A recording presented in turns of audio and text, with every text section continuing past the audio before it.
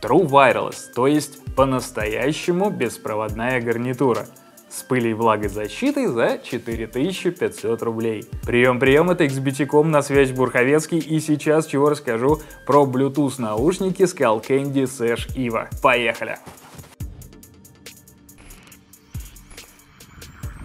Капелька субъектива для тех, кто так же, как и я, не любит совсем беспроводные наушники и считает, что они выпадают при неосторожном движении головы и всегда где-нибудь теряются. Вот эти наушники плотно сидят в ушах и никуда не выпадают, причем для того, чтобы их вставить, не нужно протыкать барабанную перепонку, а в комплекте идет три пары резинок разного размера для ушей разного размера.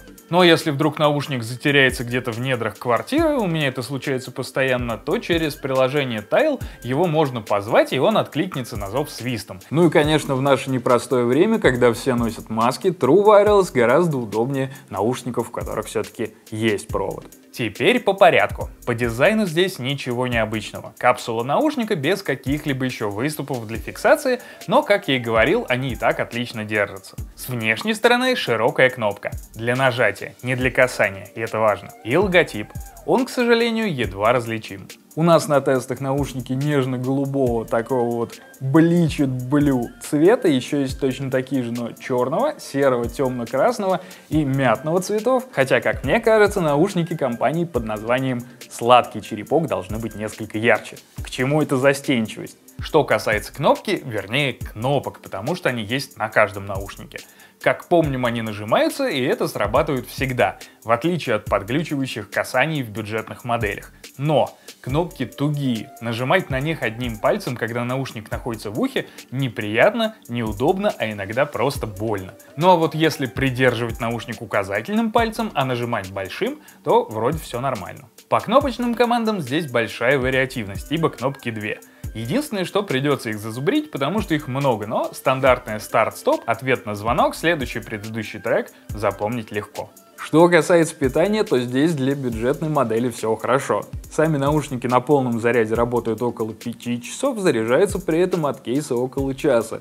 Сам кейс заряжается 2 часа, его хватает на 3,5 полных зарядок наушников, то есть порядка 20 часов автономной работы с небольшими перерывами на подзарядку есть. А еще полностью разряженные наушники можно за 10 минут зарядить приблизительно на полтора часа работы. Неплохо. Кейс ничем особо не выделяется. Крышка при тряске не открывается, а наушники держатся в кейсе на магнитах. Также в нем есть светодиодный индикатор заряда и разъем USB Type-C. Sash EVO защищены от влаги и пыли по стандарту IP55. То есть пыль туда не попадает, а если попадает, то работе устройства не вредит. А вторая цифра — это влагозащищенность. То есть тренироваться в наушниках можно в том числе и под проливным дождем. Ни брызги, ни струи воды, по идее, наушникам не страшны. Проверять мы это, конечно, не будем.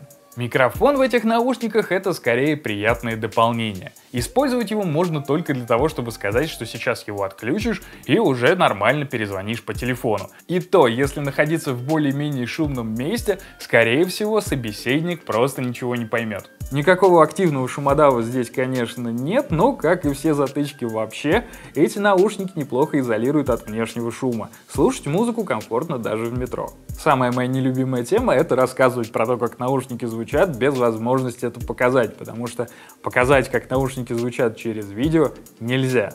Но если хотите объективности, смотрите на АЧХ. Правда, нужно понимать, что наши измерения скомпенсированы в том числе и под стенд, на котором мы эти наушники тестировали. А он, в свою очередь, эмулирует то, как слышит их наше человеческое ухо. Если кто не знает, оно слышит все нелинейно. Ну а если субъективно, то лично мне не хватило высоких частот и верхней середины. Еще из-за этого немного схлопывается стереобаза и треки звучат больше по центру. Но это стандартная болезнь бюджетных гарнитур. А вот со средними частотами и с басом здесь все более-менее в порядке. Вдобавок есть три предустановки эквалайзера — музыка, кино и подкаст. Переключаются они нажатием кнопки на наушнике. Пресеты для музыки и кино почти ничем не отличаются, а вот в режиме подкаст подавляются низкие частоты, что и понятно, так голос лучше различим.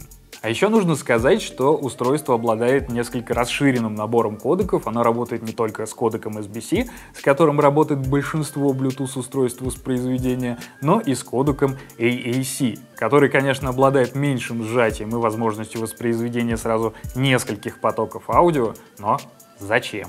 При просмотре видео рассинхрона замечено не было, а вот в играх звук ощутимо запаздывал, так что мобильным геймерам эти наушники советовать не буду. В общем, непритязательным аудиолюбителям сойдет, ну или тем, кому наушники нужны, чтобы музыку во время тренировок послушать. Притязательным же нужно искать модель подороже. А у меня все. Это был XBT.com, на связи был Бурховецкий. Всем пока и до встречи в эфире.